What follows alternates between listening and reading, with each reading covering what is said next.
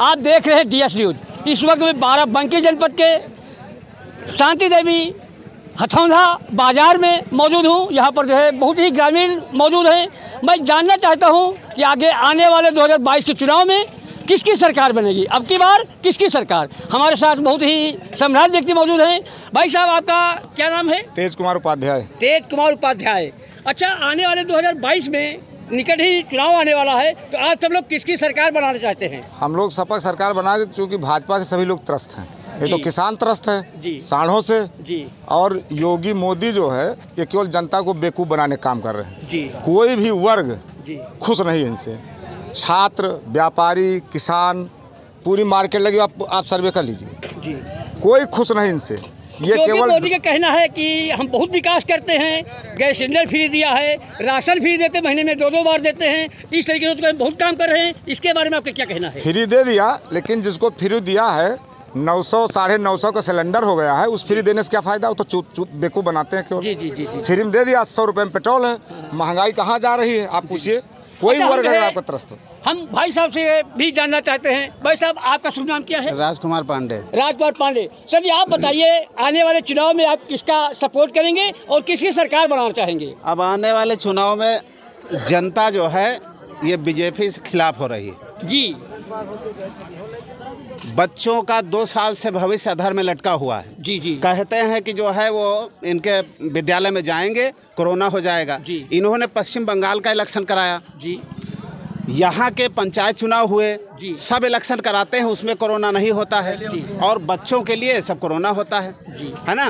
Gas जो मिलती थी 500 उसमें सब्सिडी आती थी ढाई सौ रुपये आज साढ़े नौ सौ की मिल रही है।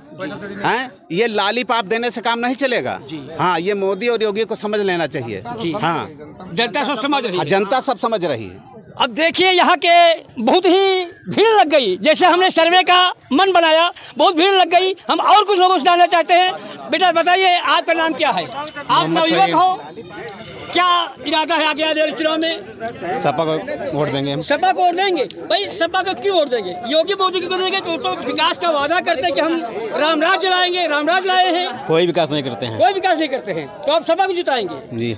अच्छा दादाजी आप बुज़ुर्ग हैं आपने कई उतार चढ़ाव देखे हैं। हम आपसे जानना चाहते हैं कि आप अब की बार किसकी सरकार बनाएँगे?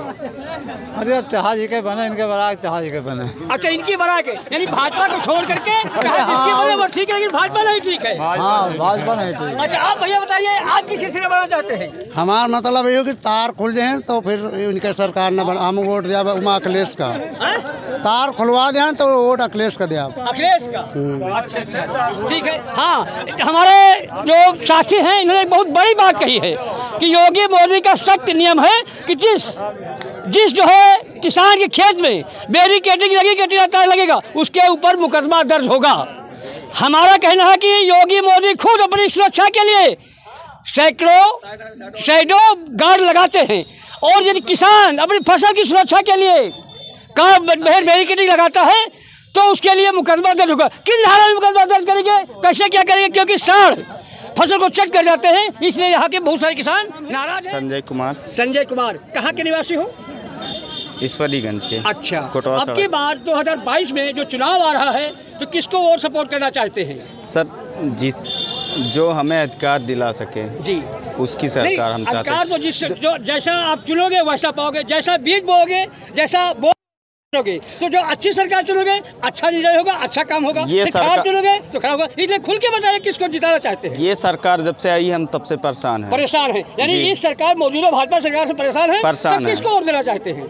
हमारा वो अखिलेश भैया को अखिलेश भैया जिंदाबाद। जी। धन्यवाद। यहाँ के ग्रामीणों का कहना है कि हम अखिलेश भैया जिंदाबाद करना चाहते हैं। कहाँ के निवासी हो? जी ठाकुरपुर के यही बाराबंकी के। अच्छा ठीक तो है? आने वाले चुनाव में आने वाले चुनाव में मोदी और योगी ने गुमराह किया जनता को जो है पंद्रह लाख रुपए में दे के या कुछ भी रोज़गार में के विषय में अब बेवकूफ़ बनाया लेकिन दो अबसिल जो है वादा अबसिल सरकार समाजवादी की फिर से आ रही है सन 2022 में। ये नवयुवक हैं। इन्होंने कहा है कि योगी और मोदी, वायदा किया था कि हम दो हज़ार, दो करोड़ नौकरियाँ प्रतिवर्ष देंगे, लेकिन सात साल से ज़्यादा का समय बीत गया है। एक भी नौकरी नहीं दिया बल्कि नौकरी जो पहले से थी, आधे से ज़्यादा नौकरी खा गए हैं। इसलिए नवयुवक हैं, रोज़गार से परेशान हैं, इसलिए जो है योगी मोदी को न देकर अखिलेश सरकार बनाना चाहते हैं। हम यहाँ व्यापारी वर्ग भी हैं उनसे भी जानना चाहते हैं। भाई साहब बताइए आप किसकी सरकार बनाना चाहते हैं? हम भाजपा की बनाना चाहते हैं। अच्छा भाजपा की सरकार बनाना चाहते हैं। बहुत अच्छी बात है। दादाजी आप बताइए। भैया जी आप बताइए आपका नाम क्या है? हमारा नाम संतराम है। संतराम आप किसकी सरकार बनाना तो चाहते हैं? भाजपा हमेशा ना भाजपा में बहुत अच्छी बात है बहुत अच्छी बात हम क्या करेंगे यही है? जी जी जी बस सीधी बात कमाना है। खाना है। चलो ठीक है। नमस्कार आपने जनता की राय देख चुके अब अगली बार हम कहीं फिर मिलते हैं किसी दूसरे एपिसोड में।